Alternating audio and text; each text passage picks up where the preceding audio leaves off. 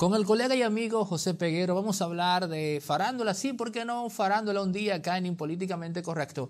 Pero también vamos a hablar de política, ya que José Peguero se ha hecho también famoso por eh, análisis de temas puntuales que tienen que ver con nuestro juego de poder.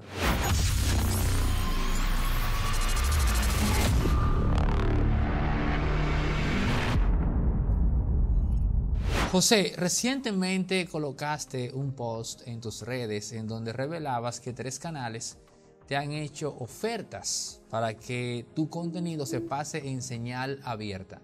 Pero dijiste que de esos canales solo uno te habló de dinero y los otros dos te prometieron hacerte famoso. ¿Podrías darnos todos los detalles de esas propuestas no muy decentes? Bueno, básicamente consistieron en que en la mayoría de las veces no es la primera ocasión que alguien se me acerca con la intención de expandir básicamente lo que nosotros hacemos desde YouTube, desde las exclusivas de José Peguero, ya sea con los comentarios de actualidad o también con el tema de las entrevistas. Y recientemente sí recibí una oferta por parte de propietarios de Teleradio América para llevar mi contenido hacia un canal nuevo que creo que es el canal 79. Pero también hubo otras, entre las que se destacan una de un canal de la Romana que me estaban prometiendo hacer mucho más famoso y que iban a llevar este contenido allí a cambio de que yo les cediera los derechos, pero sin optar por ninguna ganancia más que la exposición. Entonces, después que ya entramos en este negocio, que inicialmente quizás era algo empírico, pero después que ya uno le dio la formalidad, no es para que uno regale lo que con tanto esfuerzo produce.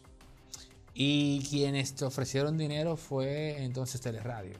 En el caso de Teleradio, que están diseñando una propuesta que va enfocada en sacar provecho al contenido de YouTube que están generando muchas personas aquí y tienen un plan parecido al que está implementando Sergio Carlos, que llevó su contenido hasta la televisión y lo está monetizando también, no solamente en YouTube. Georgina Duluc dijo recientemente que, o habló más bien de la calidad de la televisión dominicana y dijo de mediocre hacia abajo.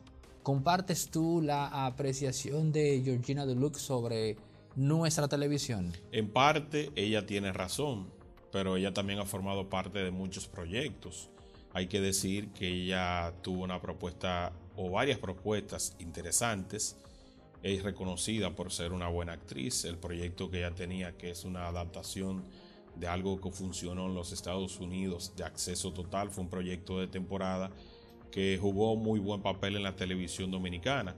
Y ciertamente hay eh, muy mala calidad, pero no en sentido general. Ha ido evolucionando en muchos aspectos aunque si nos vamos a la televisión regional está malísima.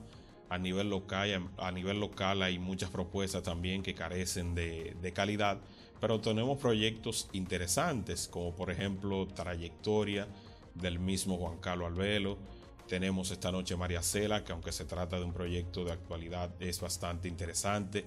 Mil historias con Judith Leclerc eh, otros programas de investigación que van un poquito más allá, como el, por ejemplo el de Adis Burgos. Tenemos la propuesta Me Gusta de Noche, que es súper interesante con Joel López y con Joel. Y así vas a encontrar un montón de propuestas que enriquecen la televisión dominicana. Ciertamente no es el denominador común, pero así como hay programas malísimos, también hay programas muy buenos. Pero centrándonos en la calidad, me surge preguntarte, lo que se está haciendo en YouTube actualmente en República Dominicana, en sentido general, supera en calidad y creatividad lo que tenemos en la televisión?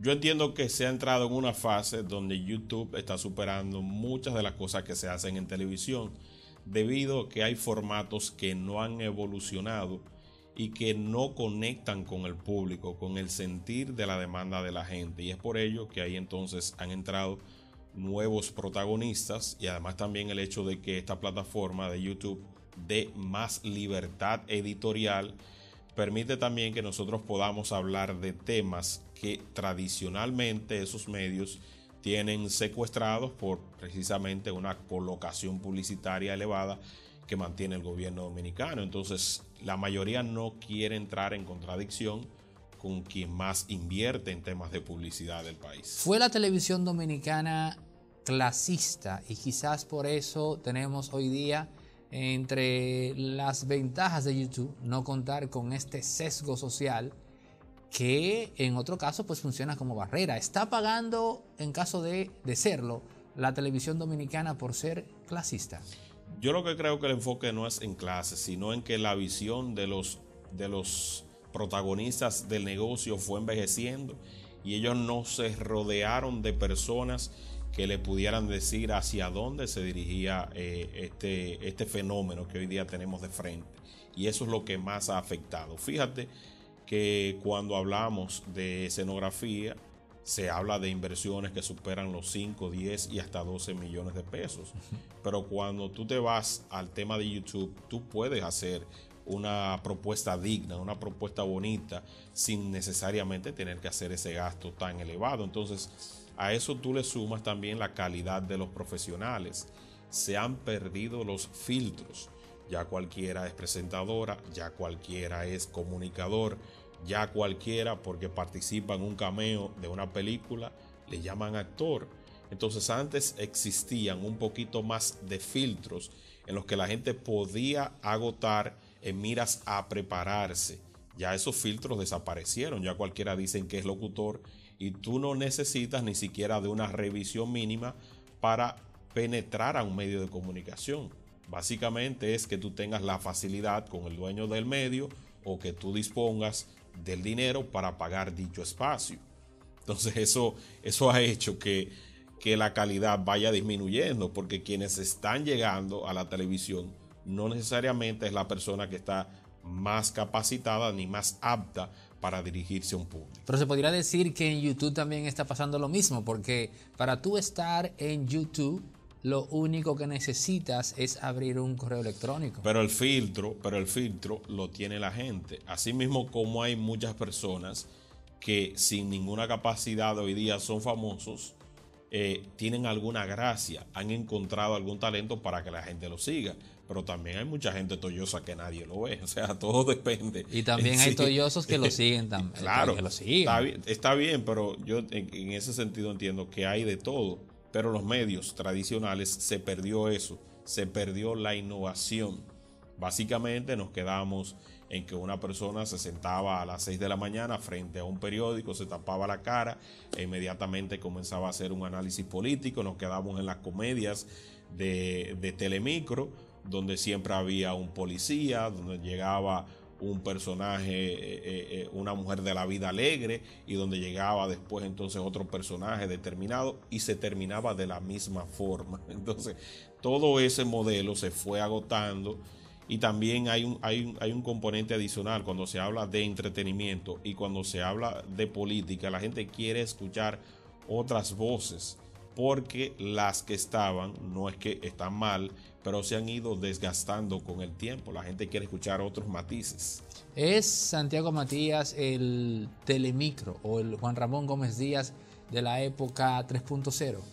Yo entiendo que él ha sido un visionario. Fíjate que todo este movimiento que se está dando en el país, él ha sido como quien dice la punta de lanza. Y hay que reconocer que en cuanto a visión e inversión, él ha sido uno de los pioneros.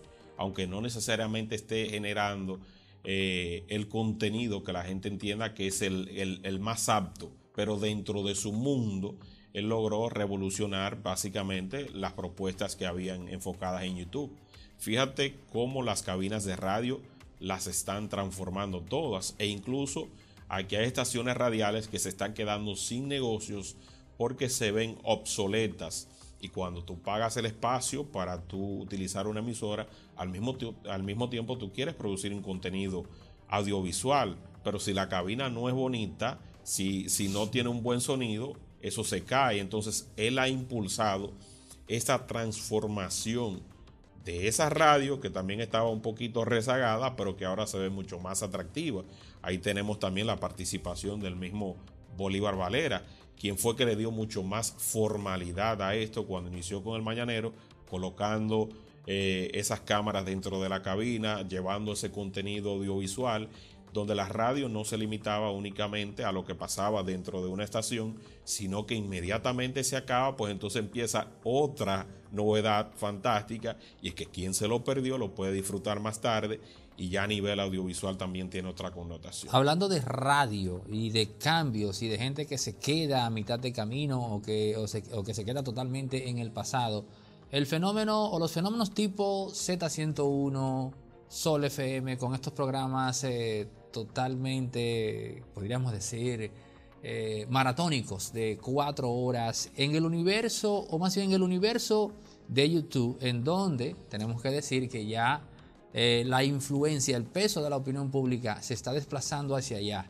Hará esto que la radio pierda entonces influencia, como en esa época que teníamos del 2000, 2009, donde aquí literalmente hablando las grandes noticias se producían en ese entonces en la z en la cabina de la Z101. Te digo porque ha perdido la radio esa fuerza por un tema de actualidad. Si ahora mismo ocurre un hecho trascendente, importante, y tú estás aquí esta noche, tú no tienes que esperar a mañana a hablar de ese tema, sino que simplemente lo que se produjo y lo que pasó tú tienes la facilidad como la tengo yo, como me ha pasado que a las 10 o 11 de la noche hay un operativo, hay un allanamiento, tú tienes datos, yo tengo datos. Señores, están allanando a fulano de tal.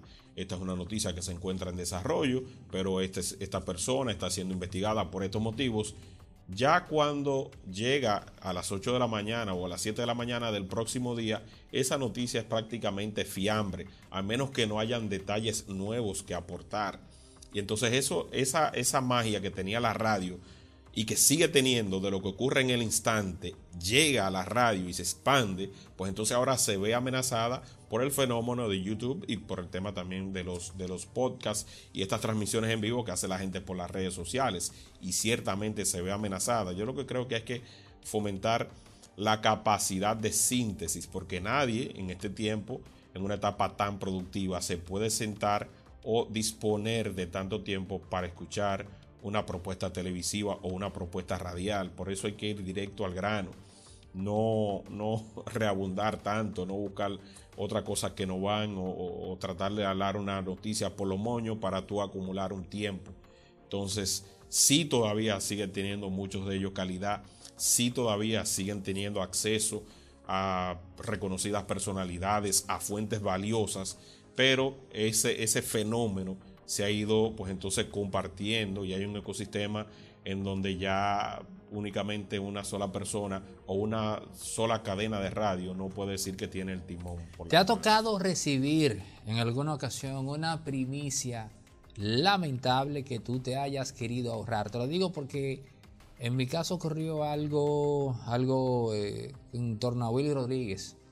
Cuando lamentablemente Don Willy parte de este mundo, me llaman a mí a las 7 de la mañana, de donde él estaba, y me informa un médico, mira, eh, para que des la primicia, eh, fulano acaba de, acaba de dejarnos de este plano terrenal.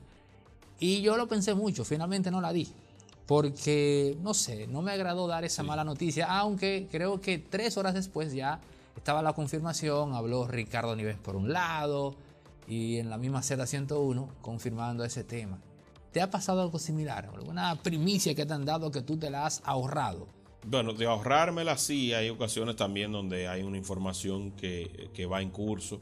Por ejemplo, yo te pudiera decir, y, y te lo aseguro un 100%, que Milagro Germán va directamente para el Ministerio de Cultura. Pero, bueno, eso es una premisa compartida porque eso también salió en nuestra plataforma. Yo colgué un tweet hace ya más de, más de 20 días. Bueno, por ahí va, por ahí va. Abordando el tema, explicando que eh, encontré gente que me ha dicho, no, pero que eso todavía no es cierto, no se ha dado. Bueno, que se haya retrasado, de acuerdo, pero tarde o temprano viene la confirmación y eso saldrá en los próximos días. Pero por ejemplo, cuando falleció don Luisito Martí, yo tenía la información de primera mano y no me atreví a ofrecerla al público hasta que yo no fui a Sedimat. Y el único video que debe estar rodando por ahí, que lo tenía en otro canal, ya no lo tengo en el canal mío principal, eh, fue cuando yo me dirigí hasta allá a conversar con sus hijos y con Luis Manuel Aguilo. No lo quise decir hasta que yo no pude conversar con ellos, porque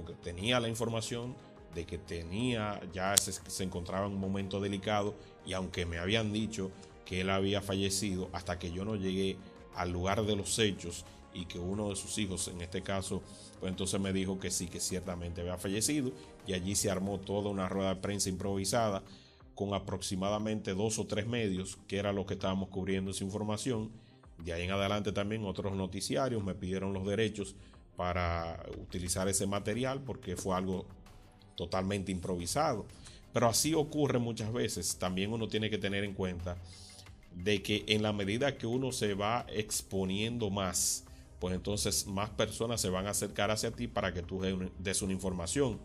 A mí me pasó que un urbano tenía su, un, exponente urbano, estaba en una situación difícil con su esposa cuando manejábamos el tema de, entretenimiento y se había separado y había determinado que su compañera tenía una relación con un influyente político dominicano y él me llamó a mí para que yo diera la primicia. Entonces yo le dije a él, bueno, yo te agradezco que tú hayas pensado en mí, pero a mí me encantaría tomar tus declaraciones para que seas tú el protagonista de esa noticia, porque yo no puedo venir a arruinar la reputación primero de esa dama y segundo a buscarme que ese funcionario mañana me forre a tiros. O sea que si tú estás en la disposición de decir lo que tu compañera sentimental está haciendo, yo no tendría ¿Y ningún problema en grabarte. No, no quiso. Después de ellos se reconciliaron también. Ah. No vas a decir fuera del aire de que está bueno ese chisme, de quién, de quién se trató. ¿Y no, y no te habló más después que que se reconciliaron ellos? No, no volvió a hablar más. Pero yo siempre se lo dije y conozco su manager y se lo decía también. Y le decía, pero vamos a aprovechar, yo enciendo la cámara o te tomo también con mucho gusto, te puedo grabar la llamada telefónica, pero tú diciendo. Tú has incursionado en el tema de los análisis políticos también e incluso has hecho denuncias. ¿Qué te motiva a ello? Y hasta ahora no has eh, recibido, digamos, alguna especie de feedback o llamado de alguna figura de poder. Mira, no, porque yo en ese sentido, cuando yo hago los planteamientos, o básicamente ni siquiera son análisis tan profundos como lo, que haces tú, lo que hace el mismo Francisco. Eh, yo básicamente me voy a la noticia, cuando tengo información de primera mano sí la expongo, pero trato de no personalizar lo que yo estoy difundiendo. Entonces cuando, cuando llega el tema de la personalización es que usualmente vienen los problemas. Yo a veces le caigo arriba un tema, le doy durísimo, pero después lo suelto, porque no quiero que se entienda que se trata de un ataque personal mío hacia una persona. He enfrentado directamente a las malas acciones del Partido de la Liberación Dominicana, del PRM, de lo que entiendo que está mal en la fuerza del pueblo, de lo que está mal en, en las demás agrupaciones políticas, pero no he tenido esa presión. Sí una vez estuve bajo amenaza eh, y esto no era ni siquiera cuando estaba eh, de lleno en YouTube, sino que en una oportunidad eh, recuerdo yo que había una fiesta en la cárcel de Najayo y siendo yo director de En Segundos me llegó la información de que había un bar premium y que cerca de la Navidad unos detenidos que estaban vinculados al caso de José Figueroa Agosto habían armado un bonche. Y en ese bonche me enviaron las fotografías. Pero bonche dentro de la cárcel de Najayo bonche, una fiesta encendida con, en Najayo. con bebidas premium y todo lo demás. Entonces cuando... Un bar en Najayo. Un bar, con, todo, con toda la facilidad y con toda la comodidad. Entonces me envían esas imágenes y yo digo, bueno, pero esto es noticia, déjame publicarlo, pero no, no tenía conciencia del impacto que pudo haber causado. Lo cierto es que eh, se suspendió al director general de prisiones y tomaron los medios de comunicación las imágenes que yo tenía. En todo momento aparecía, por ejemplo, un Roberto Cavada dándome crédito. Las imágenes son de José Peguero, cuando yo no quería que ese tema se siguiera debatiendo, porque llegué a recibir incluso algunas llamadas amenazantes de números desconocidos por haber denunciado que se estaban haciendo esta clase de actividades. ¿En qué gobierno fue eso? Eso fue en el gobierno de Leonel Fernández. En el último, me imagino. Sí, sí. ¿Tú inicias en YouTube en qué año? Yo inicié en el 2009, pero de forma empírica, subiendo cositas que encontraba. O sea, que tú iniciaste primero que, eh, que de Santiago, Matías. Sí, claro. Y yo y, con este canal es, del 2009, pero yo tenía otro canal donde tenía mucho más contenido. Lo que pasa es que no tenía conciencia con el tema de los derechos de autor. Y en una ocasión subí un video, recuerdo, de, de Estrella bailando una canción de, de Cani García de fondo y Emmy Music, sin apelación y sin nada, me cerró ese canal, pero yo tenía ese canal muchísimo material histórico. Lo perdiste todo ese material. Lo perdí de un canal histórico donde yo tenía acontecimientos importantes, donde yo daba cobertura, porque yo llegué a trabajar en Divertido con Hochi, llegué a trabajar en el programa de, de Milagros Germán y tenía acceso a figuras, a contenido, cubría muchas eh, actividades de espectáculos eh, tenía la facilidad de que me dejaban entrar al camerino a hacer una que otra cosa y entonces todo ese material lo perdí por una falta y un incumplimiento. Figuras, eh, digamos que, bueno, tú has mencionado, digamos, de la línea de Hochi Santos, Yatna, que curiosamente no le están sacando el jugo a YouTube. ¿Qué tú entiendes? Pues suponiendo que, sea, que, que tú seas asesor que ellos podrían o deberían hacer? Mira, lo primero es que ellos deberían tener un director de contenido de YouTube.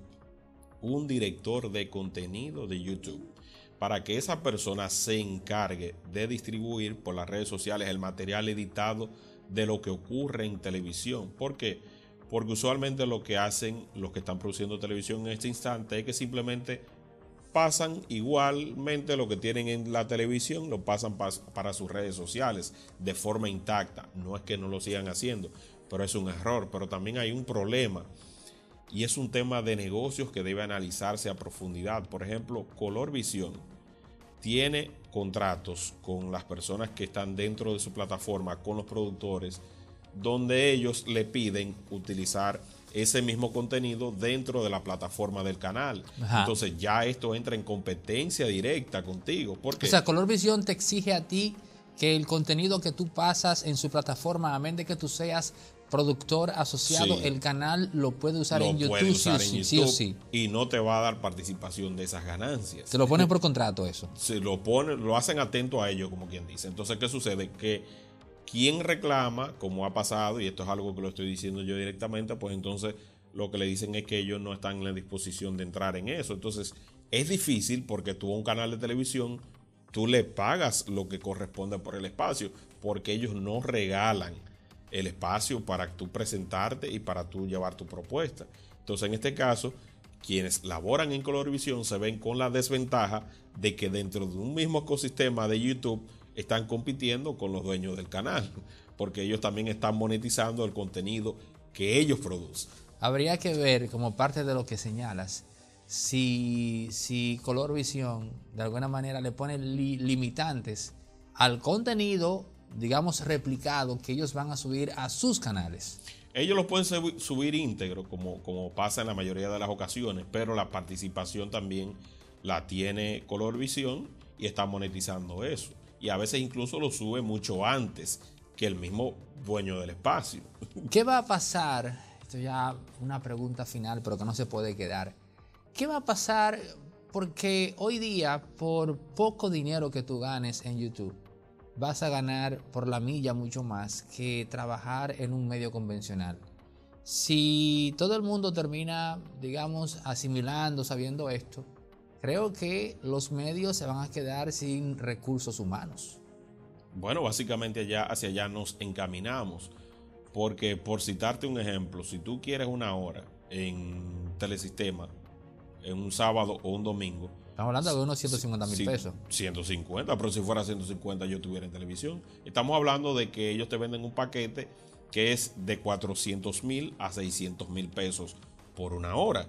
Entonces, ¿cómo tú le vas a sacar esa inversión con anuncios que te pagan a 60 y a 120 días? Si es que lo consigue los anuncios. Entonces, si es que lo consigue. Entonces, lo primero es que ya tú tendrías que coartar tu libertad de expresión porque tienes que ir donde el primer postor, que es el gobierno, donde el padrote, a negociar y ya de antemano tú vas a haberte limitado en tratar algunas cosas porque no se te va a permitir que al mismo tiempo cuando tú te sirves de la cuchara grande, pues entonces no complazcas a ese que te está sirviendo. Entonces, si a eso tú le sumas el costo de producción, más empleados, más edición, o sea, nos encaminamos a propuestas que lamentablemente tendrán que desaparecer porque ya la televisión está dejando de ser un negocio para muchos, aunque todavía hay ciertas personalidades que por su arraigo y por su trayectoria todavía convencen para que las agencias publicitarias le coloquen y para que distintos sectores se acerquen a ellos con sus propuestas publicitarias, pero no es nada sencillo, porque para invertir 600 mil, ¿cuándo tú tendrías que facturar? Estamos hablando de por lo menos un millón de pesos. Mínimo un millón, entonces de ahí tú vas a sacar los costos y qué va a ser rentable para ti. Entonces ellos están motivando a que cada vez los productores sean quienes elaboren toda la propuesta y ojalá ellos no se haga un programa en vivo dentro de sus plataformas, porque esto representa costos para ellos. Cada proyecto de esos en color visión o en telesistema o en telemicro que se tiene que utilizar el personal de planta, ya eso representa gastos. Ojalá y ellos encontrar propuestas que simplemente lleguen allí para que se coloquen y le dé un botón de play o que tú te encuentres en algún lugar remoto y transmitas desde allí, porque están abaratando el costo pero arruinando por completo el modelo de negocios. Mira, hablando de, digamos, de, de, modelos, la materialista. Sí. El show en el cual se vio involucrada, ¿fue para ti un libreto o fue algo en donde se puede plantear que simplemente ella se metió en un asunto que no tenía conocimientos de la dimensión de lo que ella sabía. Sabía. De antemano ya sabía porque todo el mundo sabe que en OnlyFans no es para leer la Biblia ni para pedir Señor, Señor, no. Todo el mundo sabe lo que hay allí. Estamos hablando de una plataforma donde más del 87% del contenido es vinculado a actividades eh, sexuales. Entonces ella sabía, lo que pasa es que quiso diseñar una estrategia que captara la atención. Probablemente es cierto que en ese instante, cuando ella fue al programa de Vale por Tres, estuviera arrepentida, pero al ver el impacto y la demanda que estaba teniendo su contenido dentro de OnlyFans, prefirió mantenerse hasta esperar a cobrar los primeros cheques. Porque si tú te retiras, entonces estarías dando la cancha abierta para que otras personas también puedan usurpar su identidad y colocar ese contenido. Entonces la gente lo que está haciendo, que quizás paga a un grupo determinado, pero el que pagó para verlo, lo graba y se lo envía a un amigo y es quizás lo que a ella en el fondo le está afectando. Que hay muchos que están viendo su contenido totalmente sin pagar. Sin pagar. Por eso las lágrimas. Es posible que eso sea lo que en el fondo le, le esté haciendo daño, pero yo entiendo que ella tiene todo el derecho a hacer negocio y más como no le está yendo tan bien en el tema de la música, si tú te pones a analizar cuál fue el, último hit musical que ella tuvo. Las chapas que vibran, de ella hacia acá ha tratado de hacer un esfuerzo e incluso hay plataformas como la que se llama Social Blade que tú puedes analizar el alcance que está teniendo su canal en YouTube y te vas a dar cuenta que no está produciendo ni siquiera ni dos mil dólares mensuales. Entonces, ella tiene que reponer ese dinero que le ingresaba y esta, esta plataforma de, OnlyFans puede ser muy buena para sus fines. Yo no critico lo que cada cual quiera hacer con su vida de adulto, ni le quiera dar la exposición que ella entienda a su cuerpo, porque ella ha trabajado bastante para tener lo que hoy exhibe. Gracias, José, por esa, digamos, eh, todo ese periplo que hemos hecho por la televisión dominicana, el mundo de la farándula, ciertos esposos en la política y esto que nos acabas, yo diría que revelar de lo que puede estar detrás de, este tema. Así que esperamos en cualquier momento eh, tenerte aquí de nuevo o que caramba nos invites a tu plataforma. Claro que sí, yo entiendo que sí, ya estaba dándole forma, todavía no la, no la tengo tan óptima como quisiera, eh, eh, estoy afinando todavía algunos detalles, pero sí también te vamos a dar el chance de que pases a visitar en nuestro espacio no es tan grande ni tan, ni tan acogedor como este, pero, pero sí es un espacio digno donde nosotros eh, pues lo que hacemos lo hacemos con mucho gusto. Tú te vas a sorprender porque el equipo mío somos dos personas. Mm. Yo como talento y uno que se encarga de grabar, de colocar el micrófono y de acomodar la cámara para que eso se vea como se ve. No, no, pero lo importante es comenzar Sí. Creo que es dar el primer paso y de ahí en adelante pues seguir caminando hasta que llegues a correr y un día te encuentres con que has llegado a la meta que querías. Así mismo es. Yo empecé ya para finalizar también desde mi casa haciendo comentarios e incluso era con un celular la mayoría de ese trabajo que yo hacía. Claro, no con cualquier celular, pero sí era un celular promedio y el equipo me permitió que yo pudiera entonces avanzar, pero entendía que ya el celular tenía un techo. Bueno, gracias José por participar en Impolíticamente Correcto. Suerte y éxitos. Gracias a ti, hermano.